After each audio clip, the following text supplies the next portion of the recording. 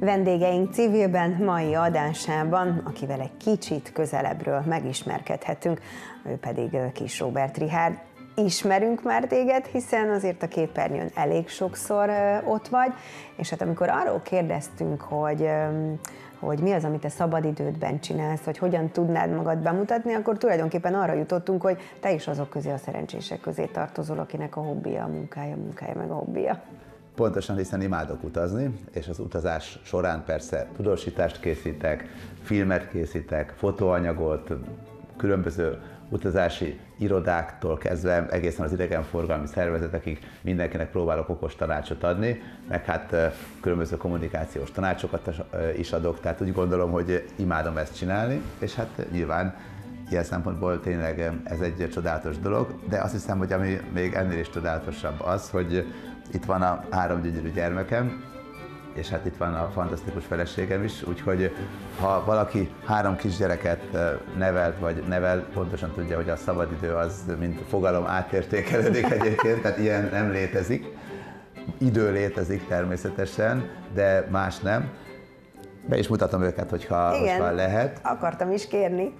Ő a legkisebb Milla, és nagyon-nagyon nyugodt, hatalmas dús haja van. Egyébként a nagyanyjától örökölte, tehát az én anyukámnak volt ilyen nagyon sűrű dús haja. Ő Jászmin, a középső gyermek, aki azt mondjuk, hogy egy terminátor, mert hogy ilyen békésen el van, az ne jelentsen semmit, mert pillanatokon belül le fogja rámolni itt mindjárt az asztalnak az összes kellékét. És itt van a nagyfiam, ő pedig Fülöp, aki már szerepelt egyébként filmben is, és most már óvodába jár, úgyhogy ő már mindent tud a világról, amit általában egy négy évesnek tudni kell. Úgyhogy, hogy tudod összeegyeztetni egyébként a munkát, a szabadidőt, a családot? Nyilvánvalóan kell egy olyan feleség hozzá, aki aztán lekoordinál mindent a három gyerekkel. Ez így van. Tehát én, amikor elképzeltem, hogy milyen lehet az élet, meg a család, meg a világ, akkor sokkal nehezebbnek képzeltem bármilyen fura, mert a feleségem olyan szinten leveszi a terhek jelentős részét a vállamról, hogy ürülésre méltó vagyok ilyen téren, azt kell mondanom. Tehát tényleg vigyáz a gyermekekre, gondoskodik róla, dönt olyan kérdésekben, hogy nem tudom, milyen ruhát viseljen Milla, meg Jászminka, meg hogy hol vegyük, meg mit vegyünk, meg mit csináljunk. Tehát őszintén szóval igazából nekem lövésem nem lenne ezekhez, és nem is adja meg azt a lehetőséget, hogy döntsek, de nem is igénylem. Tehát ebből a szempontból remekül összerakja a, az egészet. Tehát szerintem egy csodát vettem el feleségül.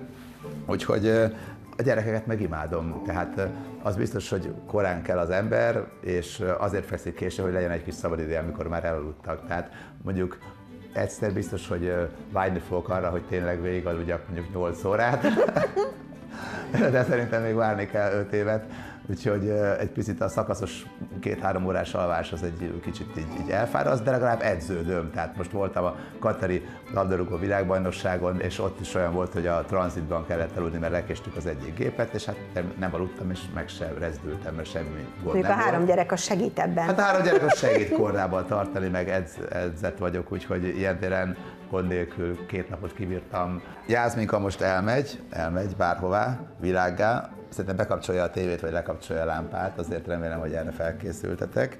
Hogy néz ki egy napotok? Amikor éppen itthon vagyok Magyarországon, akkor gyakorlatilag korán kelünk, én megyek le mindig a gyerekekkel, hogy az asszonynak legyen egy kis kikapcsolódása, amikor még plusz 10-20 percet, vagy akár egy órát is ráhúzhat.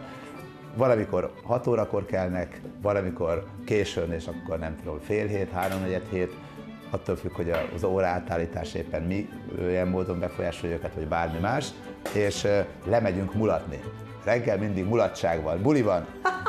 mulatság? Hát reggel a feleségem alszik, és ilyenkor aztán jöhet a jegeste, a, a csokoládé, a chips. Ugye nagyon szeretjük Fülöppel a chipseket, és akkor chipset eszünk, tévézünk, megnézzünk mindenféle olyan mesét, amit egyébként nem szabad megnézni, eszünk mindenféle, amit egyébként nem szabad enni, érességet chipszel, chipset túrórudival, és jön hozzá, mondom, mindenféle olyan innivaló, amit egyébként nem szabad, és aztán felébred a mama, és akkor helyreáll a világrendje. Úgyhogy nagyjából így zajlik a reggel. Fülöpöt, ha itthon vagyok Magyarországon, akkor én viszem el óvodába, és utána pedig elindulok és dolgozom attól kezdve, a Fülöp pedig bent van a szobodába, Jászminka Milla pedig anyukájával tölti az időt. Hát Jászminka ugye elég aktívan, tehát szerintem nincs olyan perc, amikor az én drága feleségemnek ne lenne valamilyen elfoglaltsága. Most éppen a döntéshozóval veri szét az asztalt, ha jól látom, de ő valóban ezt szereti. De nem unatkoztok egy másodpercet. Tehát ez, ez, hogy, ez hogy unatkozás, ezt nem ismerem ezt a kifejezést. Azt gondolom, hogy, hogy nagyon-nagyon ritkán mondom azt, hogy na unatkozom, mert egy,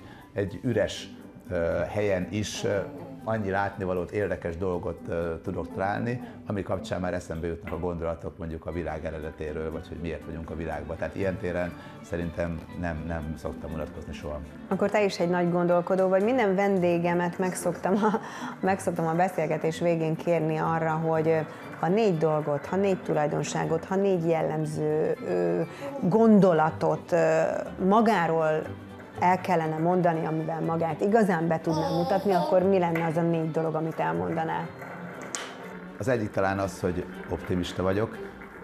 Írtam könyvet, eh, így látják a magyarokat a világban címmel, és nagyon sokan kiemelték, hogy mindenki pessimista volt a környezetükben. Én optimistán látom a világot, és bármilyen helyzetben vagyok éppen, akkor is megpróbálok egy picit eh, nyugodtabban ellenni. Tehát nekem például meghalt eh, nyáron a testvérem is, és az anyukám is, előtte pedig a nagynéném. Egymás után túl vagyok egy ilyen hármas haláleseten, és és hát azt mondtam, hogy ez egy nagyon szörnyű dolog, de Isten így akarta, túltettem ezen magam, és boldog vagyok, hogy ilyen csodálatos családdal lehetek együtt. Nyilvánvalóan azért ebből is látszik, hogy ez egymás után három akkora sok egy átlagos ember életében, hogy azért sokan rámennek. Én megpróbáltam nem rámenni, de egyébként is azt gondolom, hogy ilyen téren, meg minden téren azt nézem, hogy mit hoz a jövő, vagy a jelen, megpróbálom megélni a pillanatokat. Szerintem ez egy fontos dolog. És a másik, ami nagyon fontos, hogy jó a probléma megoldó képességem.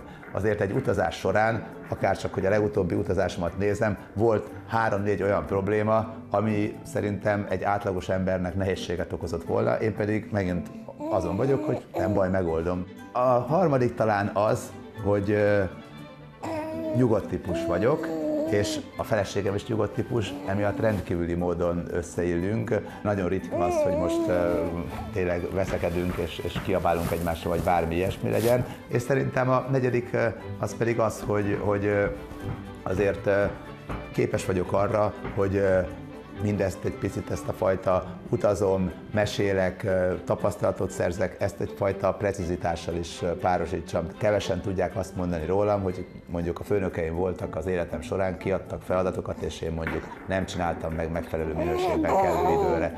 Hát a magánéletben meg meg a felfogásod, hogy hogy érzed magad, hiszen annál csodálatosabb dolog, mint ezek a gyerekek, szerintem, meg a család, meg, meg, meg az, hogy boldogan él, nincs nincs más. Látom, hogy ez az idő is pont kellett, hogy feloldódjonak, és most már indulhat a, a most már indulhat a rosszaság is, és megjött a mosoly is, úgyhogy adunk is nektek teret. Ha már csináltunk neked már egy kis szabadidőt erre a beszélgetésre, akkor töltsétek együtt a szabadidőt, és köszönjük szépen neked, hogy megmutattad a gyönyörű családodat. Én, Én pedig szépen. arra kérem a nézőket, hogy maradjanak velünk, hiszen a következő részben is megismerkedhetnek egy újabb vendégünkkel, természetesen civilben.